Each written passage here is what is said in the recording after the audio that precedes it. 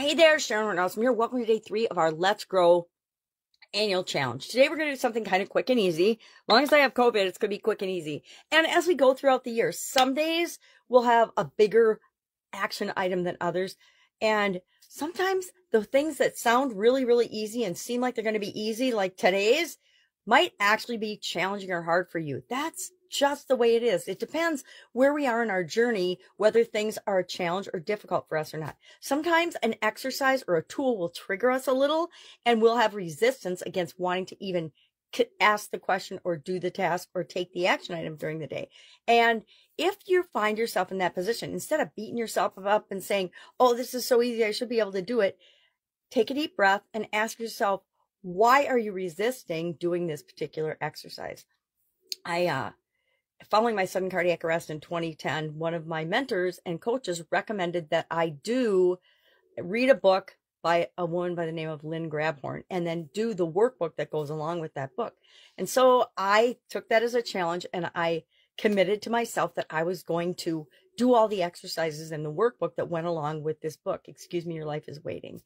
And what I learned was that there were exercises in that book that I did not want to do and resist. There was one in particular that I actually told myself as I was going through the workbook, I couldn't move on to the next exercise until I finished them. I had to do them in sequential order. It's a rule I set for myself and that's fine, but I committed to myself that I would do that.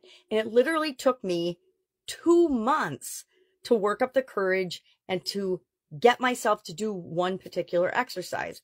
And what's interesting is as soon as I did that, I finished the whole rest of the book in about two or three months. But it had taken me, you know, I don't know, four to six months to get up to that point. Then I was literally stuck on one exercise and I looked at it every single day, but I could not get myself to do it. Why? Because I wasn't ready. I wasn't ready to do it yet. And then finally, after two months of talking myself into it, I did the exercise and it was easier than I thought it was going to be. I just had been dreading it because I had to face some bad choices and bad decisions I'd made in my past, and I had to let go of them and move on past those.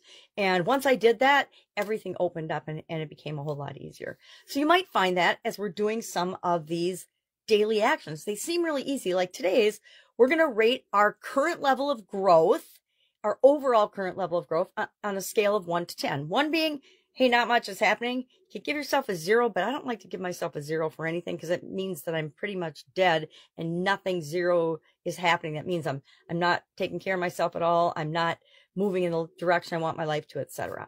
So I say let's at least start at a one, meaning not a lot of growth is going on.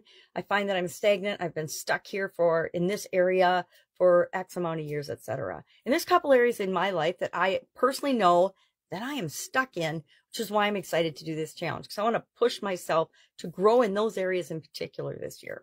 So overall, a scale of one to 10, one being not much growth going on, pretty much just in a routine and doing the same things in day in and day out. And if that feels awesome for you, then that's great. Give yourself a, a, a higher growth rate or hey, I'm in a good position. But if it doesn't feel right to you, if there's something in your gut that says, oh my God, I feel like I've been running on this same treadmill since 2020. Anybody?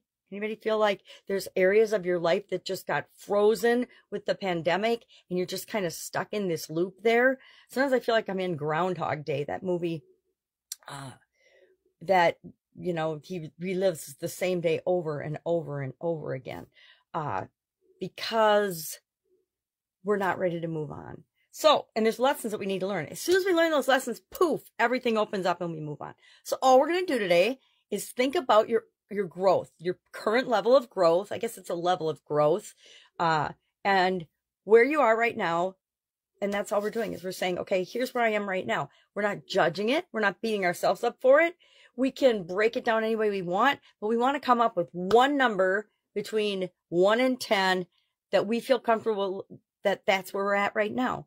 Uh, I haven't done it yet. I actually broke mine down into a couple of categories. I put uh, personal growth, career and professional growth, business growth, other areas.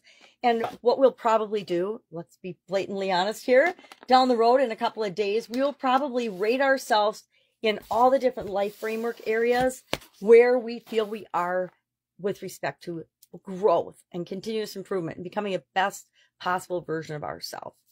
Uh, any questions? There's going to be a write up in guide two of the Let's Go, Let's Go, Let's Grow annual challenge private group page. I created a page on the first and the videos are in guide one of that. And it's a different setup now since I set up social learning groups a long time ago. So I'm hoping it's correct and it's going to work out right. Seems to be working by day two. We'll see. I'll add day three today and we'll see if it's, it's working right. But guide one videos, guide two write ups. And I'm trying something new this year. I'm creating a story, a person's story, different scenarios, one a day. And so at the end of the year, we'll have 365 days of different people's stories that we'll have shared with respect to some type of growth, some area or aspect of growth. I can't remember what today's was, but there'll be a story and a lesson there. And it's up to you to read and see what you get out of the story. Maybe you get nothing out of the stories. I get a lot out of other people's stories. I love to see other people grow and transform and change as they go through their life's journey. And so I want to share a bunch of stories like that this year. Something different, just something different. So we'll have the write up and the story in guide two for uh, each day's lesson this year or e each day of our challenge. Any questions, any comments, any feedback, any concerns, please let me know. The sooner I hear from you, the sooner I can tweak and make changes to make sure the challenge is everything that you need to grow this year. All right. Have an awesome day. And I will, of course, be with you tomorrow.